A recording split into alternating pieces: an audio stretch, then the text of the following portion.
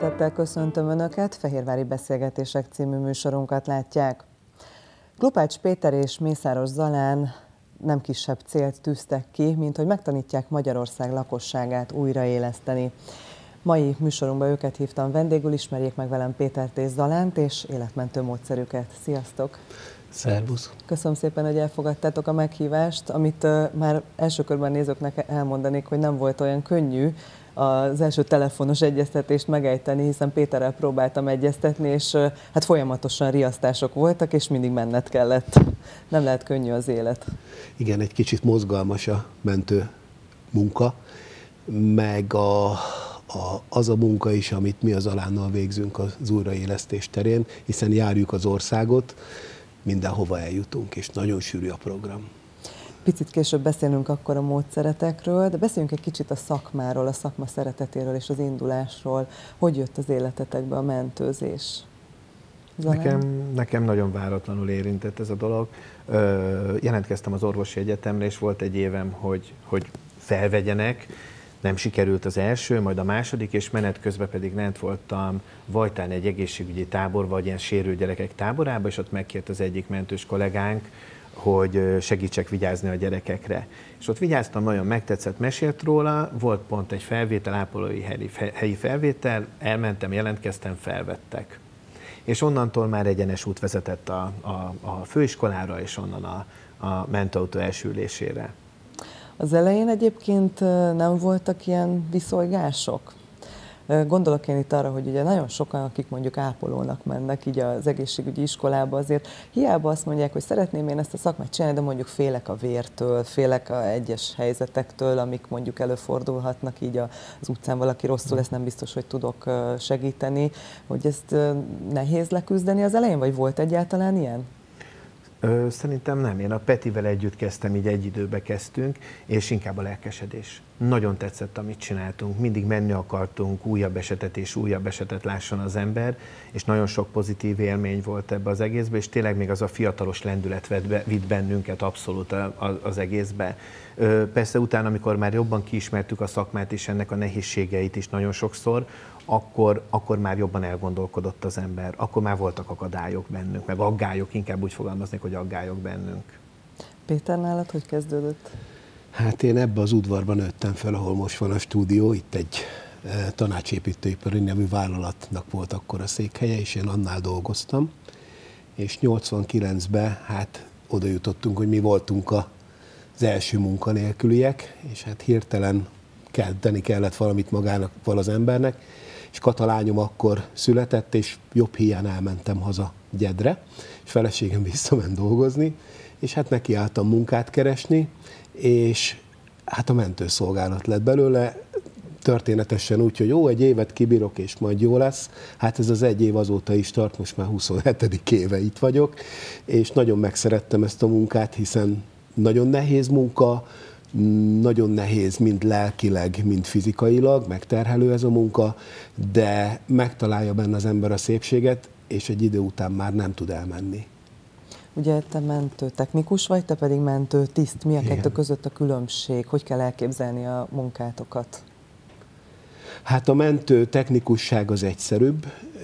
Én gépkocsi vezetőként kezdtem a mentőszolgálat, nem mentőgépkocsi vezetőként és az ember mindig többet szeretett volna tudni, többet szeretett volna tanulni, és saját pénzemen beiratkoztam az 5.2-es mentő szakápolói OK és gyakorló mentő ápolói iskolába, ezt a Bugát Pálba végeztem el, és még tovább tanultam, megcsináltam az 5.5-öst, szintén saját pénzen, ez nem olyan régen fejeztük be a bajtársaimmal együtt, és ennek a kettőnek a, az egyvelege tulajdonképpen a mentőtechnikusság, hogy az ember vezet és ápol is. És a mentőtiszt? Ö, ez egy nagyon-nagyon nagyon-nagyon nagy magyar dolog egyébként, és szülemény. Ez a Szemelves Orvostudományi Egyetemen végeztem a mentőtiszti karon. Ö, tulajdonképpen orvosi, tehát szintű munkát, orvosi munkát ö, végezhetek munkaidőmben, nem orvosként ami, ami ö, gyakorlatilag teljes felelősséggel jár, és te felelsz az egész csapatért gyakorlatilag, illetve a betegnek az állapotáért, és egy, egy, te fogod össze azt a tímet, azt a csapatot, amivel dolgozol, ami áll általában egy mentőgépkocsiból, illetve áll egy ápolóból. Hogy kell elképzelni a ti munkátokat abból a szempontból, hogy mondjuk, vagy onnantól kezdve, hogy mondjuk megjön a riasztás, és mondjuk onnan odáig, hogy beviszitek a beteget a kórházba? Leadjátok, úgymond. Hát erről most már inkább már csak én tudok beszélni, hiszen az alán pályát váltott és elhagyta a mentőszolgálatot. A mentőmunka mindig egy nagyon összetett csapatmunka. Itt mindig egy kicsit katonai jellegű ez a mentőmunka, mindig van egy irányítója az egységnek, aki dönt, aki a többiekre is vigyáz. Általában ugye ezek a magasabb végzettségű emberek, akár a, a, az oxiológus szakorvosok, mentőtisztek, vagy a, az 5.5-ös mentőápolók. És amikor egy helyszínre kiérünk, ott bizony nagyon sokszor fájdalmat, illetve szenvedést találunk, amit uralni kell, mint emberileg, mint határozottsággal, mint munkával. Ez sehogy máshogy nem lehet végezni, csak teljes szívvel, teljes odaadással. Ez egy teljes értékű embert kívánó munka. Ez egy olyan munka, mentő munka, amelyik nagyon sokszor összeszorítja az ember szívét, de viszont csak egyetlen egy szél lebeg az ember előtt, hogy a beteget minél profibb módon ellátva, minél hamarabb bejuttassuk a kórházba, a megfelelő osztályra, ahol is a szakszerű kezelést folytatják a beteg érdekében. Uh, szoktak lenni, vagy legalábbis hallomásból olyan esetek, amikor mondjuk nem feltétlen kellett volna mentőt hívni. Milyen szempontok alapján mérlegelik, illetve a kollégáitok vagy a, a csapat, milyen szempontok alapján mérlegeli azt, hogy szükséges, nem szükséges? Azért hallani olyat, hogy hogy megdorgálják esetleg a beteget azért, hogy, hogy mondjuk mentőt hív, amikor Én... nem kellett volna, mondjuk lehet, hogy az ügyeletet kellett volna hívni. Én amikor mentőtisztként dolgoztam, én ezt soha nem engedtem, de szerintem ez nem is volt. Tehát ilyenről én nem is tudok, hogy nem lehet ilyen ha a beteg segítséget kér és mentőt kérnek hozzá, ő lehet, hogy most találkozik életében először egy egészségügyi személyzettel, egy mentő személyzettel. Nem a mi feladatunk felvilágosítani. Tehát ő, amikor ezzel találkozik, akkor nekünk ugyanolyan teljes szívvel és teljes értékűként kell kezelni a dolgot, nem a mi feladatunk dorgálni, illetve a betegeket irányítani. Tehát aki segítséget kér, azért megy a mentő, hogy segítsen. Nagyon-nagyon profi irányító csapatunk van most Nyerge Zsuzsának hívják az irányítás vezetőjét, itt Székesfehérváron, ők fel vannak készítve különböző tréningeken arra, hogy megfelelő módon kiszűrjék az ilyen riasztásokat, és hogy megfelelő minőségű autót tudjanak küldeni, de ez az ő kompetenciája lesz egy másik műsorban, hogy ezt elmondja. Egyébként nekem mondjuk, mint laikusnak, honnan kellene tudnom, hogy mondjuk az ügyeletet vagy a mentőket hívjam? Nyilván függ attól, hogy mi bajom van, de mondjuk lehet, hogy sokan nem tudják azt, hogy, hogy most éppen a mentőt hívjam, vagy az ügyeletet. A mentőszolgálat nagyon sok helyen átvette az ügyeletnek az irányítását is, és így sokkal könnyebb ezt eldönteni, vagyis eldől már telefonáláskor, amikor azt a számot felhívják, hogy kit fognak keresni, illetve ki fogja irányítani önöket. Ez egy nagyon egyszerű történet, és ez már működik tökéletesen. Emlékeztek a pályafutásotokból kirívó esetekre, nyilván számos, rengeteg eset lehetett, de egy-egy olyan, ami mondjuk olyan megmosolyogtató esetleg, vagy egy-egy olyan kirívó, ami mondjuk nem olyan jó érzésekkel tölt el titeket? Szerintem mindegyikünknek van, mind a kettőnknek, és ezt a programunkat is ez éltette, illetve ez, a, ez miatt alkottuk. Nekem volt egy olyan esetem, amikor egy édesanyja, a 8 éves, és az édesanyja meghalt, és a 8 éves kislánya hívta hozzá a mentőt, és nyomta a melkasát Olyan sikeresen, hogy amikor mi odaértünk, akkor még egy öt percet csináltuk, volt egy ritmuszavara, amit kezeltünk elektromosan, befelé már altattam az édesanyát a kórházba, és kézenfogva mentek haza egy-két hét múlva. Tehát ha egy nyolc éves gyerek egy ilyet meg tud csinálni, akkor gyakorlatilag miért ne tanítsuk, hogy hogy csinálta és mint csinálta, meghatározta az egész életemet nekem is. Szerintem Petinek is vannak ilyen történetei. Nagyon, nagyon sok történet van nagyon sok fájdalommal, nagyon sok szenvedéssel. Az ember igyekszik kitörölni ezeket az emlékeket, de nem lehet. Veled él, benned él, akármerre jársz, mindig tudod, hogy ott történt-e valami, vagy mi történt, sőt pontosan emlékszel, hogy hogy helyezkedtek el az emberek. Ez valahol egy nagyon, nagyon lelkileg nagyon megterhelő feladat. Én úgy gondolom, hogy nem szeretnék egy esetet sem kiemelni. Éppen azért, mert annyi minden történt az elmúlt 27 év alatt, annyi öröm és annyi tragédia, főleg tragédiák, hogy az ember nem szívesen beszél róla. És, és elnézést kérek, de nem fogok mesélni egy esetet sem, mert ö, olyan érzéseket vált ki az emberből, ami nem biztos, hogy olyan reakciókat hoznak ki belőlem, ami helyén való lenne. Egyébként, ha már mondtad a feldolgozást, hogy tudjátok megélni azt, hogy egyes esetekben kimentek, és mondjuk nem pont az, tehát nem, nem mindig pozitív a végeredménye mondjuk a munkátoknak.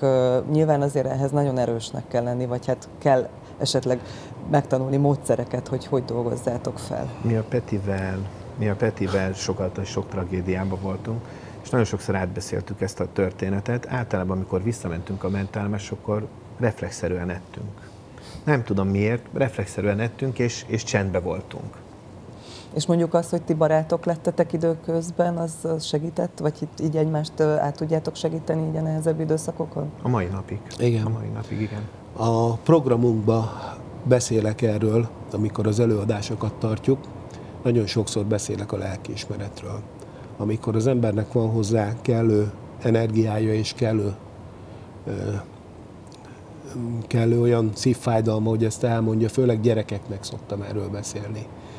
Hogy megértsék azt, hogy az embernek a lelkiismeretének tisztának kell maradnia, és azért kérjük, hogy segítsenek az emberek, és merjenek segíteni, hiszen nem mindenki menthető meg, de ha meg se próbáljuk, akkor milyen emberek vagyunk. Igen, kérem, oda kell menni, és meg kell próbálni segíteni, és erről nagyon sokszor szoktam beszélni, hogy én nagyon sokszor fölébredek éjszaka is, nagyon megviseli ezt az embert, és nagyon jó család, nagyon jó feleség kell, akik támogatják az embert abba a pillanatában is, amikor nem biztos, hogy úgy cselekszik, vagy hangosabban beszél, vagy, vagy úgy viselkedik a többiekkel szemben, ami elvárható lenne emberileg, és bizony nagyon, én nagyon szerencsés vagyok, nagyon megértő családom van, Zalán öt, én pedig három gyermeket nevelünk, úgyhogy én úgy gondolom, hogy mind a ketten szerencsések vagyunk, hogy olyan életet élünk, ahol teljes családi életet tudunk élni.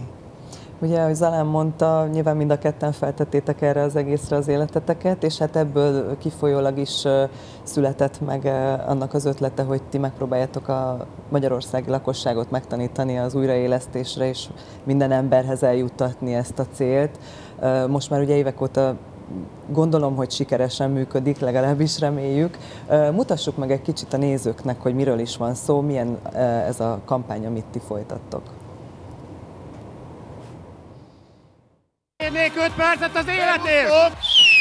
Figyeljetek ránk! 5 percet kérünk az életért, jó? Bármikor a kampusz területén rosszul lehet valaki. Zalán mondja, hogy mit csináljatok! Összeesik itt ez a gyönyörű nő! Ki akarja újraéleszteni? Nagyon jó! Így kell csinálni! Menjetek oda hozzá! Lehet, hogy nem részek, hogy itt fekszik a fesztiválon. Nézzétek meg! Rázátok meg a vállát! Reagál vagy nem reagál? Ha nem reagál, nézzétek meg, hogy él vagy nem él. Szegjétek hátra a fejét, nézzétek a légzését. Teszi vagy nem veszi a levegőt. Ha nem veszi a levegőt, akkor kezdjétek el nyomni a melkasát. Nézzétek, hogy hogy! Nem kell lélegeztetni, csak nyomni. Tudtok vele rengeteget segíteni. Teti megmutatja a technikát, hogy hogy. Figyeljetek ide rám! Tegyétek össze a kezeteket! Tegyétek össze a kezeteket! Figyeljetek a zenét! Tegyétek össze a kezeteket és rütemre nyomjátok! Harcoljon ez a zene hangosabban! Harcoljon! Újraélesztés! Figyeljetek, ismételjük át, mit kell tenni! Merjetek oda menni! Mit csináljunk? Merjünk oda menni! Nyomjátok le a vállát! Mit csináljuk? Nem hallom! Nyomjátok le a vállát! Következő lépés! Nézd meg, hogy éle! Ha azt mondja, hogy menj a francba, így szeretek feküdni, akkor ott kell hagyni. Nyomni kell a melkasát, ha nem veszi a levegőt. Rendben van, el ne felejtsétek, hiszen egy élet múlhat rajta. Légy szíves, ne felejtsétek el, amit tőlünk tanultatok.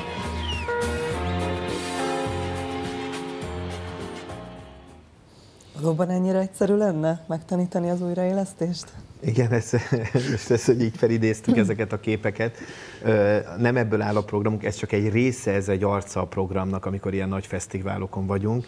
Egyébként vannak előadásaink kisgyerekek, óvodások számára, felnőttek számára, ahol elmagyarázzuk, hogy mi a hirtelen halál, hogy csinálják, illetve hazamenjenek és megfogják, hogy tudják ezt megmutatni.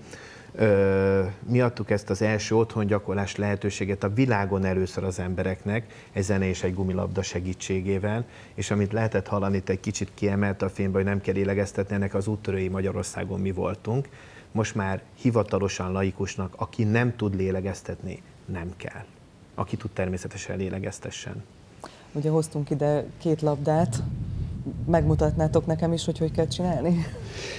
Igen, azért ez nem olyan egyszerű, hogy van egy labdánk. Ez a labda arról szól, hogy az otthon, amit az alán mondott, hogy az otthon gyakorlás lehetőségét felajánljuk. Ebben a világon egyedülállóak vagyunk, ezt senki nem tudja. Ma, ha valaki el akar menni, megtanulni, segítséget nyújtani, akár újraéleszteni, akkor annak be kell jelentkezni egy tanfolyamra. Ha van esélye, befér, ha nincs esélye, nem fér, különböző nehézségek ott adódnak. Mi pedig azt mondtuk, hogy ez egy nagyon egyszerű dolog, készítettünk egy kisfilmet, ahol le, elmutatja az a kisfilm, hogy menjen oda, természetesen a bátorság a botorsággal nem összekeverendő, csak akkor menjen oda a biztonságban van, kérdezze meg, hogy segítete, amennyiben nem válaszol, akkor szegjük hátra a fejet, nézzük a melkast 20 számol, vagy emelkedik, nem emelkedik, ha nem emelkedik, tegyük össze a kezünket, tegyük le a melkas közepére, és nyomjuk. Ugye van egy pár adat, amit tudnunk kell, az, hogy nyomjuk le 5-6 centi mélyen ezt a melkast, hogy sikeres legyen a az újraélesztésünk, nem is jó szó ez az újraélesztés, hiszen a melkasban lévő vért az agysejtek megmentésére irányítjuk és toljuk fel az agysejteknek, tehát kívülről mi leszünk a szív, és ezt határozottan egy zene ritmusában, ugye van a zenében ez a BPM, ez a leütések száma, nekünk olyan zene kell, amilyen 100-120 közötti leütések száma, rengeteg zene van, nagyon sok zene van, én nem tudok jobbat mondani a kis karácsony, nagy karácsonynál, tudom, hogy most jó idő van, de ezt mindenki ismeri az óvodástól, a felnőttig ezt mindenki ismeri, és mi azt találtuk ki, hogy ezt a labdát a melkashoz hasonlítottuk, amikor te elmész egy tanfolyamra, ott egy félbevágott műanyag babát nyomsz, amiben egy 20 centi hosszú rugó van, 10 centi átmérőjű tízes rugóacélból, azt kell nyomni, ez a baba kezdődik fél millió forinttól 22 millió forintig, ez a labda meg kezdődik 200-tól 1500 forintig, egyébként is van otthon a kutyának biztos van labdája, el lehet venni, betenni a videót, megnézni, gyerekkel meg lehet tanulni, ez a program arról szól, hogy továbbadható, és egyszerűen össze kell tenni a kezünket, mintha a melkasra tennénk, és akkor nyomjuk, hogy kis karácsony, nagy karácsony, kisült már a karácsony, tökéletesen működni fog. Az előbb mondtad, hogy 5-6 centi, azt honnan tudjam? É, ez egy nagyon jó kérdés, ugye mindig tele vagyunk adatokkal. Mi azt szoktuk mondani, hogy nyomjuk, ahogy bírjuk, hiszen a melkasnak van tartása van ellenállása, nyomjuk, ahogy bírjuk. Ha netán rottyanik egyet, akkor vegyünk vissza. Tehát a, akkor eltöltem a bordáját. Akkor eltöltem a bordáját, de ez nem baj, azt tudni kell, hogy nem baj. Még egy dologba egyedülálló a mi programunk, ez pedig az, amikor is azt mondjuk, hogy ha egyedül vagy, mit tegyél. Mindenki azt oktatja, hogy kérem maradjon itt, kérem hívjon mentőt újraélesztéshez. De könyörgöm, amikor egyedül vagyok otthon, akkor hogy mondjam valakinek, hogy maradjon itt? Azt kell megérteni, hogy amikor mi elkezdjük megetetni az agysejteket, akkor a négy percünk, mert ugye négy perc alatt halnak az agysejtek. Nem úgy van ez, hogy az első percben 1 millió 200 ezer, az egy jó berúgás. Nem kérem, itt a negyedik percben nulla agysejt van, jó? Azért kell megetetni. Elkezdjük nyomni a melkast, föltoljuk a vért az agysejteknek, életbe tartjuk őket, mindig újraindul a négy perc, megállhatok, hol van a telefonom, női táskák rejtem, mint negyedik zseb legkisebb sarkába, elfutok érte, oda viszem, mindig megállhatok egy cselekvéssor idejére, de ez ne legyen hosszú cselekvéssor. Amúgy is a munka meg fog nyugtatni. Egyébként nem tudnád elindítani a 104-et, vagy a 112-t, a piros gombot nyomkodnád meg az ődet fölváltva, nem tudnád, hogy mit nyomjál be, mert ideges vagy.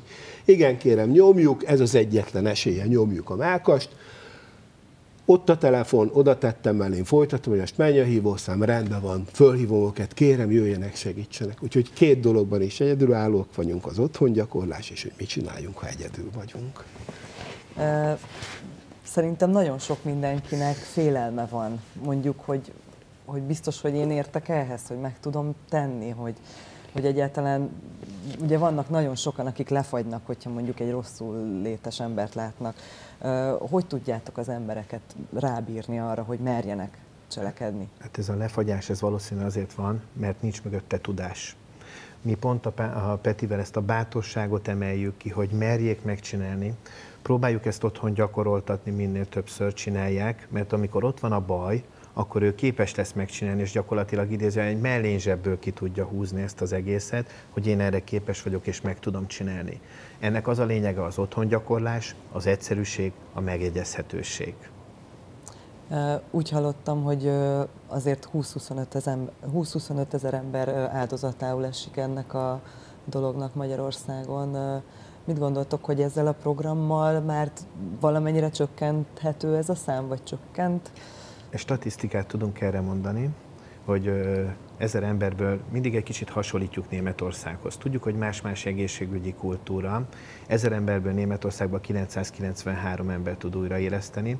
Magyarországon kicsit döbbenetes ez a szám, 17 tehát 17 ember.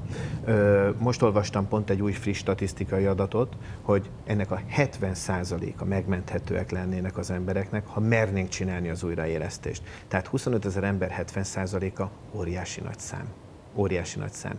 És mi a Petivel ezt a programot most már három éve csináljuk, reméljük, hogy ez az ezerből 17 új adatok nincsenek, reméljük, hogy most már 26-30, és, és haladunk arra és elér, hogy elérjük a célunkat, hogy tudjanak az emberek újraéleszteni.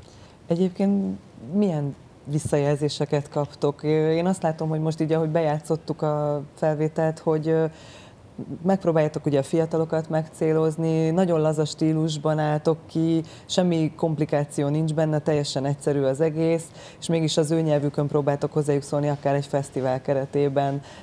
Utána mit szoktak mondani nektek?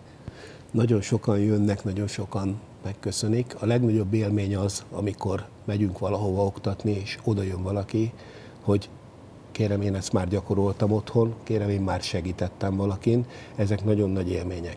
A legnagyobb tervünk, ami elkezdődött itt a Székesfehérvári városban, és a Székesfehérvár önkormányzata és a klik, a Székesfehérvári klik segítségével, az az, hogy a tanmenetbe bekerüljünk az iskolákba nagyon egyszerű dolgot találtunk ki rá, hiszen labdák vannak a tornórákon, ezért a testnevelő tanároknak megkerestük az egyesületét, akik azonnal mellé álltak a programnak. Segítséget kaptunk még a helyi OTP önkéntes csoportjától is, akik támogatnak bennünket, és odáig eljutottunk már, hogy leoktattuk a testnevelő tanárokat, akik tornaórán nagyon egyszerűen legyakoroltatják, hogy igen kérem ez, ezt kell csinálni, nyomjuk le várat, cegjük a fejét. Labdák ott vannak, zenét lehet betenni, lehet gyakorolni, és találkoztunk most már tornatanárokkal, ez, most, ez annyira friss dolog, hogy ez most kezdődött el a, ettől a fél évtől, és e, annyira, annyira nagyszerű érzés az, amikor e, mondják azt, hogy találkoztunk tanárokkal, akik azt mondják, hogy igen, kérem, mi már csináltuk, és a gyerekek szeretik, és egy hatalmas élmény ezt hallani. Na ez az igazi visszajelzés, és ha minden, or, a, a, minden osztályba, az országban, minden iskolába be tudnánk kerülni, akkor az lenne egy igazi fegyvertény, akkor felnőne egy olyan generáció, egy ö, ö, öt év múlva, tíz év múlva, akik már úgy jönnének ki a nyolcadik osztályból, a középiskolákból, hogy tudnak és mernek cselekedni, hiszen a legfontosabb az, hogy merjenek cselekedni, hiszen akkor milyen világot élünk, ha elmegyünk egy földön fekvő, mellett, egy földön fekvő ember mellett. Kérem, úgy kell megnevelnünk a jövő generációját, hogy arra képesek legyenek, hogy oda menjenek, és azt mondják, hogy segítetek, barátom. Készültök most egyébként egy flashmobra, ezt még áruljuk el a nézőknek, mi lesz ez? Ez az ország almánál lesz, az önkormányzat és az OTP közös rendezvényével, hogy az, a környék összes iskolájába, ahol ezt már oktatják, ez körülbelül olyan 500 gyerek, jön a labdával, bevonulnak a főtérre, és ott a, egy amerikai foci csapattal elkezdenek játszani labdával, hogy ebben nem csak játszani lehet egy labdával, hanem gyakorolni, és ott egyszerre szeretnénk, hogy 10 perc alatt 500 ember, vagy aki még becsatlakozik és jönnek mindenhonnan, nyomjuk azt a labdát és népszerűsítsük az újraélesztést. Mikor lesz ez pontosan? Hát az időjárás engedi, akkor 29-én délután 3 órakor, mert már megpróbáltuk egyszer, ugyanis csak közbeszólt az időjárás. Havazott májusban. Éppen havazott egy ilyen múlt áprilisban. Úgyhogy ha, ha, ha most mindenki mellénk áll, és a természet és a jóisten is, akkor talán összejön 29-én. Hát én köszönöm szépen, hogy itt voltatok és meséltetek nekem, nekünk, a tévénézőknek magatokról és a programotokról. Én azt kívánom nektek, hogy minél több emberhez jusson el ez az üzenet, tanulják meg minél többen az újraélesztést, és nagyon-nagyon kevésszer legyen rá szükség. Köszönöm Köszönjük szépen. szépen. Köszönjük. Önöknek pedig köszönjük szépen a figyelmet, tartsanak velünk legközelebb is. Viszontlátásra!